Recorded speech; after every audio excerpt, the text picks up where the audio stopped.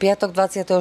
júna prišli na obliadku bytovky, kde pred dvomi týždňami horelo, odborníci na statiku zo Slovenskej technickej univerzity v Bratislave. Obhľadli celú budovu a v tejto chvíli môžeme teda konštatovať, že pravdepodobne bytovku nebude potrebné celú zbúrať, s tým, že ešte sa tam robia ďalšie obhliadky. Statické posudky pripravuje odborný tím z Ústavu súdneho inžinierstva v Žiline a mali by byť hotové do dvoch týždňov. Až na základe toho, aké budú výsledky posudku a bude známy aj postup, akým spôsobom sa bude bytovka sanovať.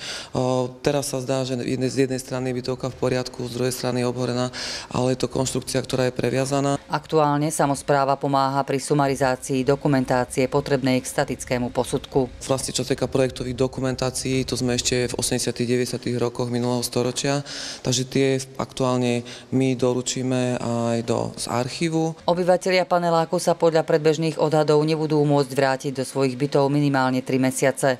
Pomoc pri ich dočasnom ubytovaní ponúkol aj Mestský basketbalový klub Handlová. Táto záležitosť na okružnej ulici nezostala vedeniu klubu Lahostajna a rozhodol sa teda pomôcť občanom, ktorí zostali na ulici. Športový manažer klubu Ondro Haviar prišiel s nápadom, že by sme mohli pomôcť ľuďom, ktorí zostali na ulici poskytnutím bytov, e, ktorými športová hala disponuje. E, jedná sa o 4 jednoizbové byty a jeden štvorizbový byt, v ktorých sú v súčasnosti ubytovaní ľudia z tejto bytovky vyhorenej, e, konkrétne 5 rodín. Majiteľom športovej haly, ako i spomínaných bytov, je pán Imro Weiss, ktorý potom, ako sme mu povedali o tejto situácii, ani na chvíľočku nezaváhal a poskytol okamžite tieto byty ľuďom, ktorí to potrebujú. Dočasné ubytovanie piatim rodinám poskytol basketbalový klub zadarmo.